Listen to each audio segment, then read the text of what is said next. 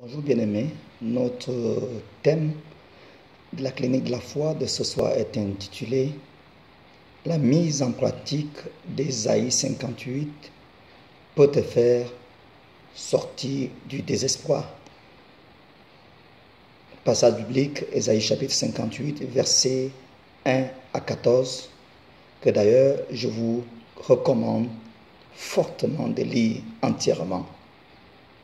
Bien aimé, plusieurs chrétiens ont perdu l'espérance, sont désorientés, vu que leur cri ne semble pas avoir d'écho auprès de Dieu. Dans leur demande sans cesse à Dieu, ils demeurent aveugles de multiples transgressions qui sont leur partage quotidiennement, bien aimé, et qui constituent sans nul doute une barrière pour un changement véritable de leur vie. Ils s'adonnent au jeûne, à la prière,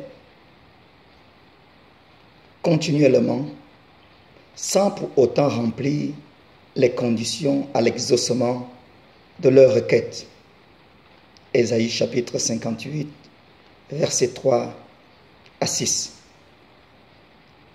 Les ténèbres sont attachées, bien-aimés, à nos vies à cause parfois de notre ingratitude, de notre avarice, de notre manque de compassion ou simplement d'amour pour notre prochain.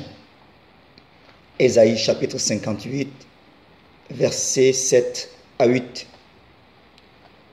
Dieu nous dit clairement dans Ésaïe 58 au verset 10 que, je cite, Si tu donnes ta propre subsistance à celui qui a faim, si tu rassasies l'âme indigente, ta lumière s'élèvera sur l'obscurité et tes ténèbres seront comme l'homélie.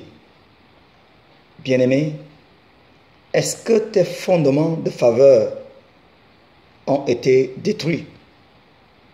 Ils peuvent être rétablis, bien-aimé, en exerçant la bienfaisance.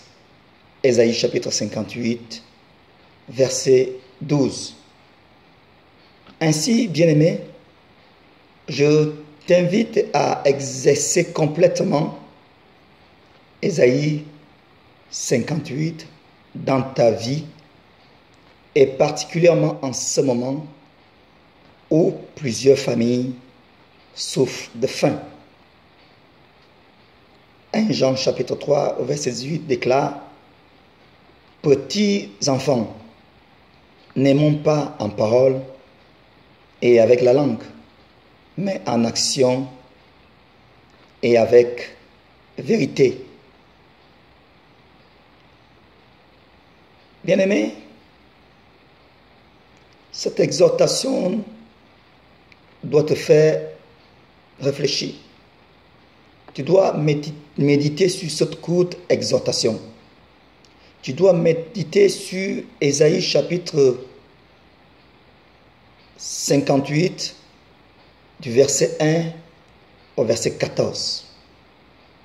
Je t'invite bien aimé à regarder ligne par ligne, verset par verset, et à méditer et à rentrer en toi qu'à travers ces passages et ces versets,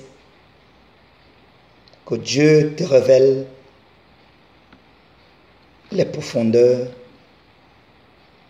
de ta destinée, bien-aimé. Ainsi, bien-aimé, pour terminer, je t'invite à faire ce point de prière.